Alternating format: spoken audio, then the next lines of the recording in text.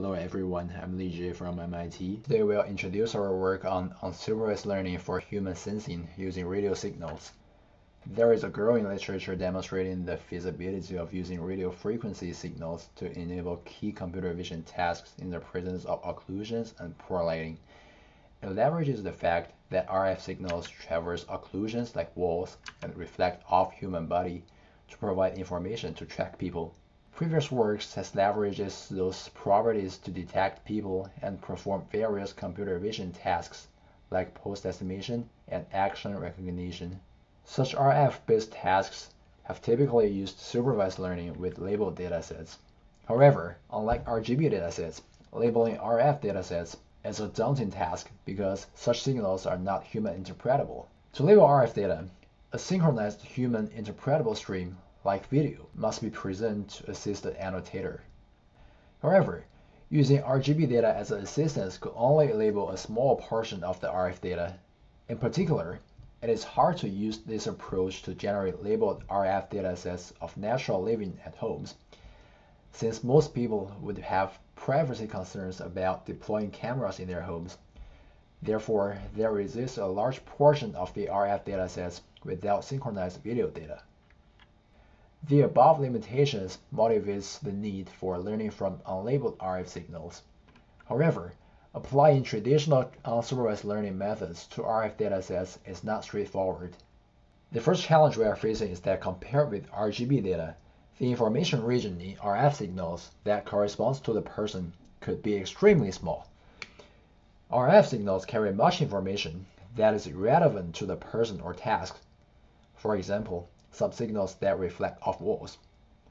For example, um, in this figure, only the signal in the white box correspond to the person of interest. Moreover, traditional unsupervised methods rely on strong augmentations, for example, color jittering.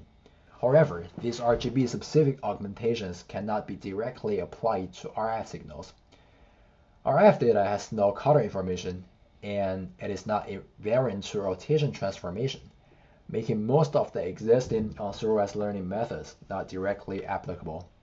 To address these challenges and make use of large-scale unlabeled RF datasets, we propose a novel structure, namely trajectory-guided unsupervised learning framework.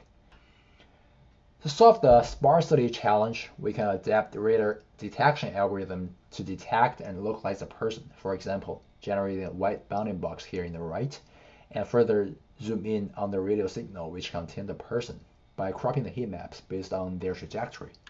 For the augmentation challenge, since predictive unsupervised learning is more suitable than contrastive unsupervised learning, we use adaptive reconstruction loss for unsupervised learning with RF dataset. We first adapt predictive learning to RF signals with TGUL. In the signal processing module, we use moving detection to obtain bounding boxes for each person. After this, RF frames are randomly masked. In the neural network module, a feature extraction network is applied to extract features from inputs. And then an ROI align module is applied to the generated bounding box to crop out the regions containing humans. A decoder network is then adopted to predict original input.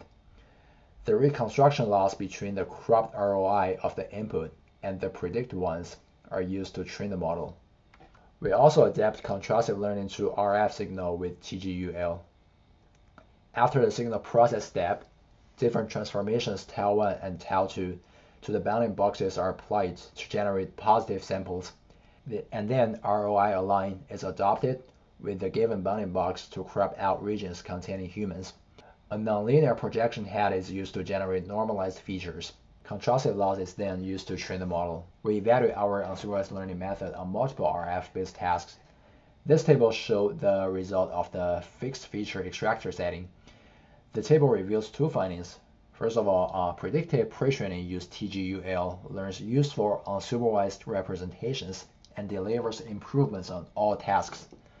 Secondly, the table shows that contrastive pre-training performs worse on all the downstream tasks. This is because contrastive learning learns shortcut semantics irrelevant to the task of interest. Thanks for your attention. For more information, please visit our project webpage. Thank you and welcome to our poster session.